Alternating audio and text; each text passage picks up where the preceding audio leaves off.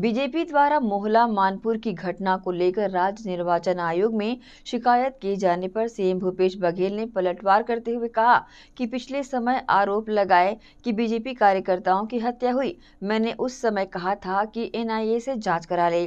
भीमा मंडावी के केस में तो एनआईए ने जाँच की। मोहला मानपुर की घटना अगर टारगेट किलिंग तो एनआईए से जाँच करा ले, रोका कौन है? राजनीति न करें।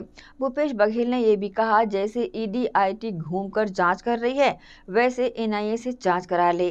सच सामने आना चाहिए जाँच चाहे पुलिस करे या एनआईए से जाँच करा ले।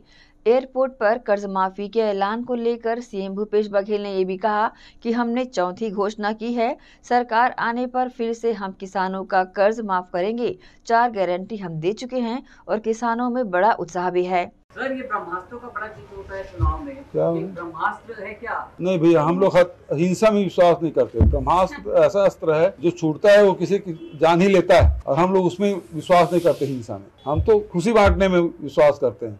आज देखिए 26 लाख साढ़े छब्बीस लाख किसान के चेहरे में प्रसन्नता उस पूरे परिवार में प्रसन्नता आ गई। किसान संगठनों से भी मैसेजेस आ रहे हैं। आ रहे हैं ना? हाँ तो हम लोग हेलीकॉप्टर में थे हम लोग क्या पता? अरुण साहब रिएक्शन करके कह रहे हैं कि छत्तीसगढ़ की भावनाओं से घोषणा घोषणा की हुई अरुण साहु जी मैं उसका भी निकालवा लेता हूँ कितना कर्ज माफ़ हुआ है। और अभी कितना कर्ज लिया है कितना माफ़ होगा वो भी बता दूँगा मैं। इनपुट सब्सिडी से किसानों को मदद मिली थी। अब कर्ज माफ़ी की क्या देखिए देखिए जितना किसान हमारा मज़बूत होगा हमारा अर्थव्यवस्था उतना मज़बूत होगा। पिछले पाँच सालों में हमने देखा कि यहाँ के व्यापार, व्यवसाय बढ़ा है। मंदी का असर दूसरे राज्यों में भला रहा लेकिन भले रहा लेकिन छत्तीसगढ़ में बिल्कुल मंदी का असर नहीं रहा। जो पैसा किसानों के खाते में गया है, वो बाज़ार में आया है। बड़े उद्योगपतियों को यदि पैसा देंगे तो बाज़ार में नहीं आता। साढ़े चौदह लाख करोड़ रुपया बड़े उद्योगपतियों को माफ़ कर दिया भारत सरकार ने। हिंदुस्तान के अर्थव्यवस्था में क्या उसका असर पड़ा? लेकिन छत्तीसगढ़ में हमने माफ़ किया किसानों का। उसका असर छत्तीसगढ़ के व्यापार व्यवसाय में पड़ा उसके जीवन में पड़ा है। ये दोनों अर्थव्यवस्था में बहुत अंतर है।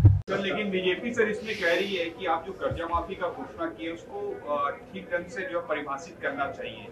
अजय चंद्राकर जी का भी इस पे पीसी भी हुआ है उसका कहना है कि परिभाषित करना चाहिए किसको मिलेगा किसको नहीं मिलेगा। क्योंकि 2018 में